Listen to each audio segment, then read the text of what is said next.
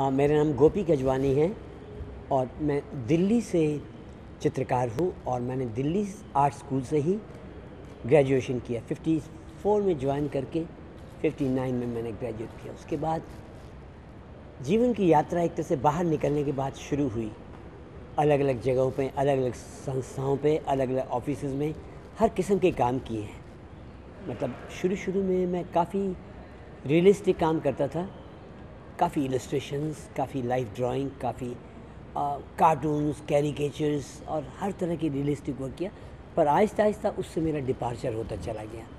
और जाने किस वजह से, कैसे, कहाँ, कब जो है, मैं एब्स्ट्रैक्ट फ़ील्ड में उतर आया। और मैंने सोचा ये मेरी एक नई भाषा की खोज है।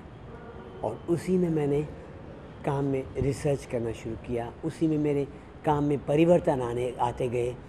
और ओवर द पीरियड काम करते करते करते काफ़ी बदलाव आया है। काफ़ी परिवर्तन मेरे ट्रीटमेंट में, मेरे कलर्स में, मेरे पैलेट में, मेरे फॉर्म्स में। अगर आज से दस साल पहले मेरा कैनवस देखेंगे तो आपको मालूम है इससे कभी भिन्न होगा बिल्कुल। मेरे ख्याल से ये बहुत स्वाभाविक है, जैसे हम में परिवर्तन, हमारे चेहरे में परिवर्तन आता है तो काम में भी आना चाहिए इससे।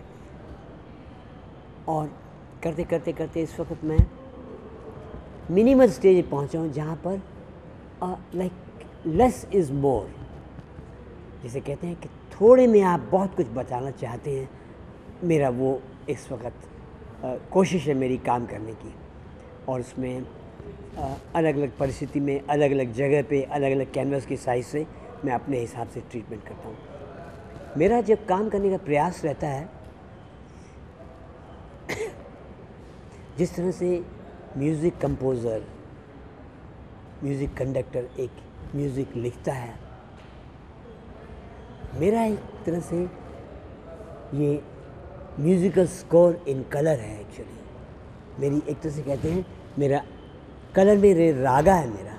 कई लोग पूछते हैं क्या है? इसको बहुत, इसका मुश्किल है कहना, जब तक जो देखने वाला, पूछने वाला इस भाषा को नहीं समझता।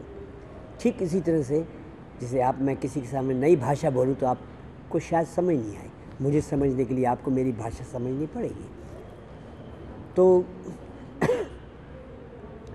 इस तरह से मतलब आ, काम करते करते करते ये बदलाव आया है मेरे में और बस यही कुछ करता जा रहा हूँ और ये जगह पे आर्ट समिट में आके इतने चित्रकारों से मेरी मुलाकात हुई। इतना सुंदर माहौल और राजस्थान के इतने यंग कलाकारों से मुलाकात हुई मेरी।